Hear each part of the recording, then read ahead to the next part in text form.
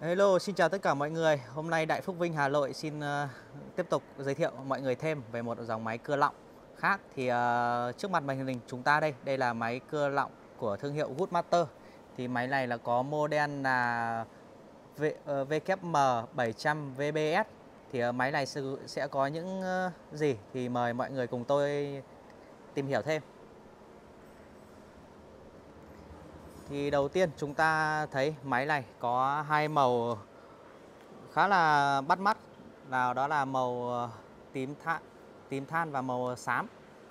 Thì ở máy này thì đây mời anh camera quay bên này thì mặt trước của máy đây thì chúng ta sẽ có ờ, uh, nút điều khiển máy. Thứ nhất là nút bật này, thứ hai là nút uh, ờ, tắt và đây là cái đèn uh, báo hiệu là tắt mở của máy. Còn đây là cái nút dừng khẩn cấp của máy. Còn ở trên đây chúng ta sẽ mở ra sẽ có gì?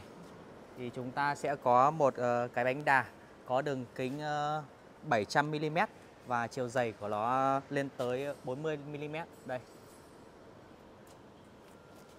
Rồi ở bên dưới này cũng vậy. Đây. Đây chúng ta có thêm một cái bánh đà cũng ờ, đường kính 700 và ở dưới này chúng ta sẽ có thêm một cái chuyển động của bánh đà ở đây là chuyển động bằng à, đai quý vị nhé.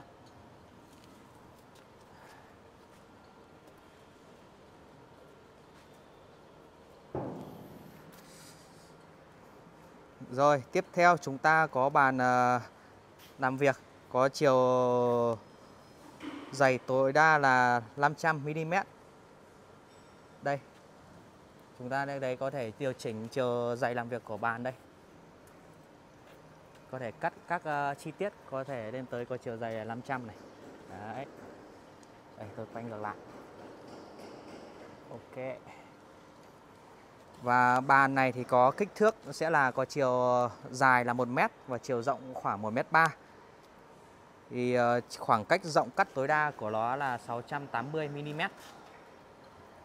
còn ở đằng sau đây thì chúng ta sẽ có một cái uh, cái này là cái cái cái uh, cái cái chi tiết mà chúng ta khi mà chúng ta muốn thay lưỡi cưa ấy mà chúng ta muốn uh, điều chỉnh nhanh ấy thì chúng ta có thể gạt nó sang bên này thì chúng ta sẽ có thể thay lưỡi cưa và căng lưỡi cưa nhanh. Còn bên này thì chúng ta sẽ bằng quay bằng thủ công.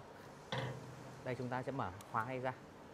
Đây là khóa để, để căn chỉnh uh, góc nghiêng của cưa này đây chúng ta có thể quay uh, cái này để điều chỉnh gọi là uh,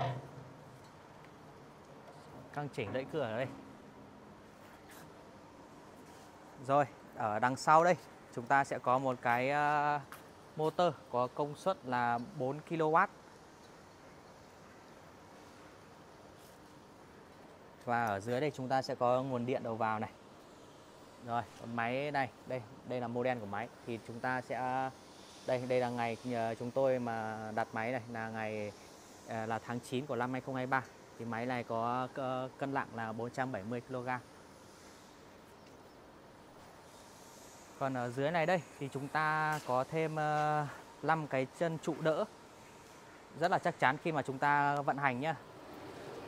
Còn ở phía dưới bên này chúng ta là có cái cái bàn đạp phanh này và đạp phanh à, khi mà chúng ta muốn uh, dừng uh, hẳn máy thì chúng ta có thể đạp bằng cái đấy cũng được hoặc có thể dùng cái nút dừng khẩn cấp. Thì uh, vừa rồi tôi cũng đã quay qua cho quý vị về máy cưa lọng này.